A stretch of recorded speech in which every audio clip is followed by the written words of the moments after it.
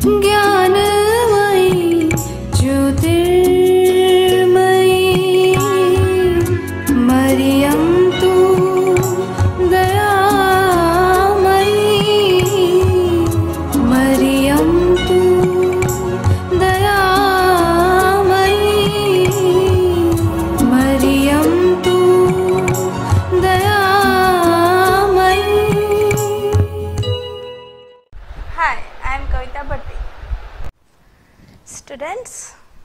આજે એક પ્રશ્નથી શરૂઆત કરીએ.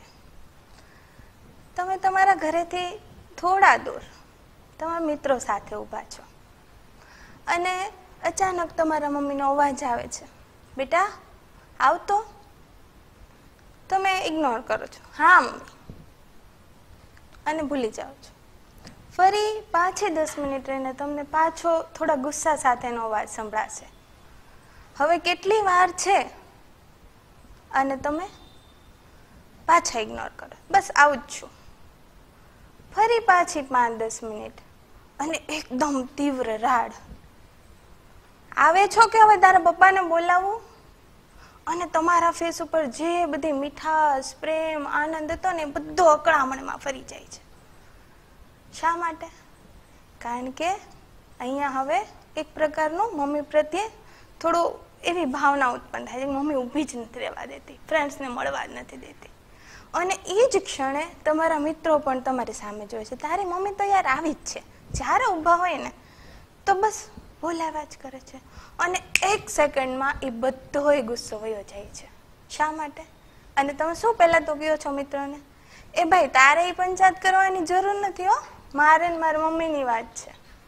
ઇવન ત્યાં સુધી કે તમારા પપ્પા તમારા મમ્મીને કાંઈ કહે ને, તો તમે એની સાથે પણ ઝઘડી પડો છો. મારા મમ્મીને કાંઈ કહેવાનું નહીં. કરો છો કે નહીં એવું હા, મમ્મી બધાને વાલી હોય. હોય ને? તો આપણે જે ભૂમિ ઉપર જન્મ્યા છીએ, જે આપણી માતૃભૂમિ છે, એ માતૃભૂમિ પ્રત્યે પણ આપણને એટલો જ પ્રેમ અને લગાવ હોવો જોઈએ ને? હોવો જોઈએ કે નહીં?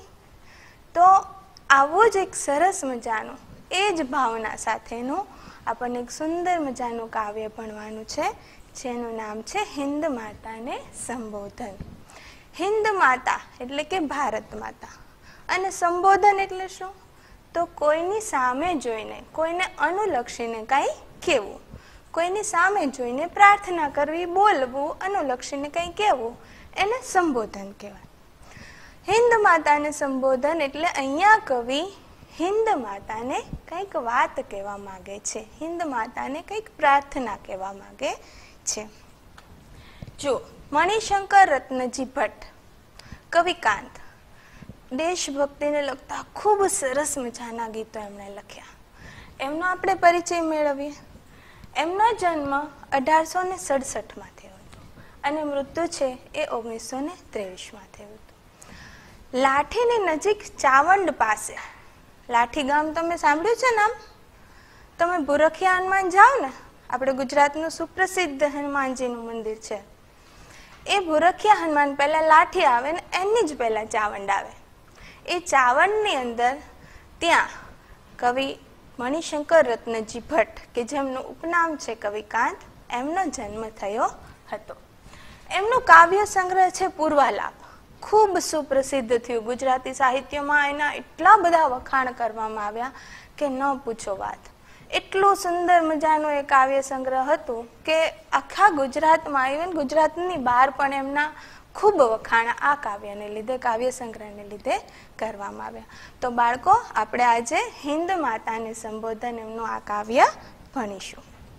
જુઓ, શરૂઆતમાં કવિ કહે છે ઓ હિન્દ દેવ ભૂમિ સંતાન સૌ તમારા, કરીએ મળીને વંદન, સ્વીકારજો મારા.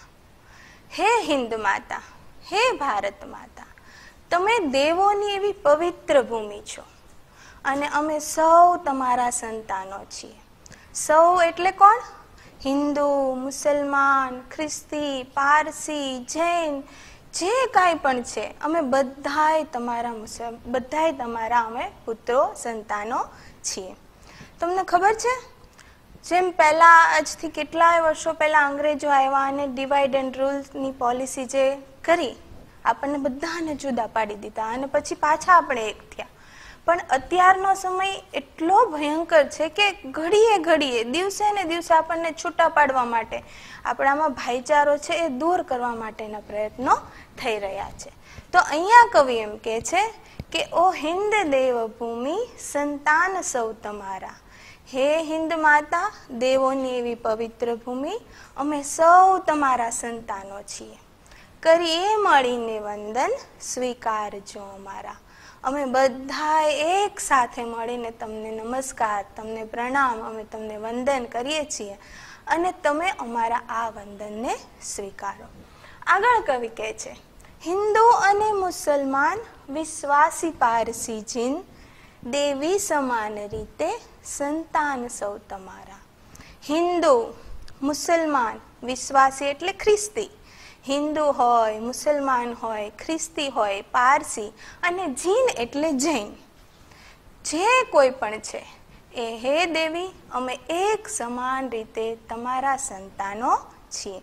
મતલબ આ ભારત ભૂમિ ઉપર વસતા બધાય લોકો એક સરખી રીતે તમારા સંતાનો છીએ. આગળ કહે છે કવિ, પોષો તમે સહુને, શુભ ખાન પાન બક્ષી. પોષો તમે સહુને, એટલે કે તમે પોષણ આપો છો, અમારું પોષણ કરો છો. શુભ ખાન પાન બક્ષી. સ્વાસ્થ્યપ્રદ હોય એવું સારો ખોરાક આપીને તમે અમારું પોષણ કરો છો. સેવા કરે બને તે સંતાન સૌ તમારા. જે કોઈ તમારી સેવા કરશે, એ તમારા સંતાનો બનશે. શરૂઆત કવિ કરે છે. પોષો તમે સહુને શુભ ખાન પાન બક્ષી. મતલબ શું? કે જેમ માતા છે, પિતા છે, ગમે એવા ગરીબ હોય, પણ પોતાના બાળકને હંમેશા સારું ખોરાક આપવાનો પ્રયત્ન કરશે ને, એને સારામાં સારું, શ્રેષ્ઠતમ, પૌષ્ટિક એવો ખોરાક આપશે. એને લઈને એક વાત યાદ આવી, જો હું કહું. હું થોડા મહિના પહેલાં ફ્રૂટ્સ લેવા ગઈ હતી. તો ત્યાં હું હજી થોડા ફ્રૂટ્સ લેતી જ હતી. એવામાં એક મજૂર બેન આવ્યા. મજૂર એટલે જે કડિયા કામ કરતા હોય એવા એકદમ, તમે એમ થાય કે આ માંડ દિવસનું આખું કામ કરે, સવારથી લઈને સાંજ સુધી, ત્યાં સુધીમાં માંડ અને સો રૂપિયા મળતા હશે. એવા એ બેન પોતાની નાની એવી દીકરીને લઈને આવ્યા. એકદમ તમે એના કપડા ઉપરથી એના ગરીબાઈનો ખ્યાલ જોઈ શકો, લઈ શકો એવા એ હતા. એણે કેળા લીધા. બે કે ત્રણ લીધા હશે શાયદ. અને ત્યાં જઈને દીકરી બોલી, મમ્મી, મારે સફરજન, બા મને સફરજન ખાવું છે. તમે વિચારો તો ખરો એ માની હાલત શું થઈ હશે? કે જેમ આખા દિવસની તન તોડ મહેનત કરે અને સો રૂપિયા મળે, એ સો રૂપિયામાંથી એની દીકરીને ચાલીસ પચાસ રૂપિયાનું સફરજન કેમ લઈ દઈ શકે? તો ઘર કેમ ચાલે? એ એ બેનના ફેસ ઉપરનો જે ભાવ હતો ને, એ જોઈને મને એમ થયું કે હું એને કહી દઉં કે, લ્યો, હું તમારા પૈસા આપું છું. આ દીકરીને તમે સફરજન લઈ દો એપલ એને લઈ દો પણ એ લોકોની અંદર સ્વમાન પણ એટલું હોય. એટલે મને થોડો એમ થયું કે, ના ના, એને એવી રીતે હું કહીશ ને, તો એને કદાચ ગમે નહીં. એટલે મેં કીધું નહીં. એણે એ ભાઈને પૂછ્યું, હે ભાઈ, એક સફરજનના કેટલા થશે? તમે આપશો એક સફરજન? તો એ ભાઈ કીધું કે ચાલીસ રૂપિયા થશે. એ બેને સો રૂપિયાની નોટ કાઢી અને એની દીકરીને સફરજન લઈ દીધું કહેવાનો મતલબ કે ગમે એવા ગરીબ મા બાપ હોય ને, પોતાના બાળકને શ્રેષ્ઠતમ આપશે. એ કદાચ પોતાના જીવ દઈને, જીવ રેડીને પોતાની ગમે એટલી મહેનત મજૂરીની કમાણી હશે ને, એ બાળકને શ્રેષ્ઠતમ ખોરાક આપશે. તો અહીંયા ભારત ભૂમિ છે, ભારત માતા છે, એ પણ આપણને ખૂબ સરસ મજાનો સ્વાસ્થ્યવર્ધક પૌષ્ટિક ખોરાક આપીને આપણું પોષણ કરે છે. અને સેવા કરે બને તે, જે કોઈ પણ તમારી સેવા સાચી ભાવનાથી કરશે એ તમારા સંતાનો કહેવાશે. આગળ જોઈએ, રોગી અને નિરોગી, નિર્ધન અને તવંગર, જ્ઞાની અને નિરક્ષર, સંતાન સૌ તમારા. તમે જોયો છે કે એક માતા હોય અને બે, ત્રણ બાળક હોય એક છે, એ થોડું વધારે બીમાર રહેતું હોય અને બીજું છે સ્વાસ્થ્ય એનું સારું હોય. તો શું, માતાના પ્રેમમાં ક્યારે ફેર આવશે? કે આ બીમાર રહે છે તો મને ઓછું ગમે છે?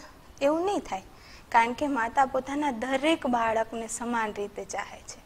તો અહીંયા પણ જે રોગી છે, રોગી મતલબ રોગિષ્ઠ, રોગવાળો, અને જે નિરોગી છે, કે જેને કોઈ રોગ નથી, જે નિર્ધન છે નિર્ધન એટલે જેની પાસે પૈસા નથી, ગરીબ છે.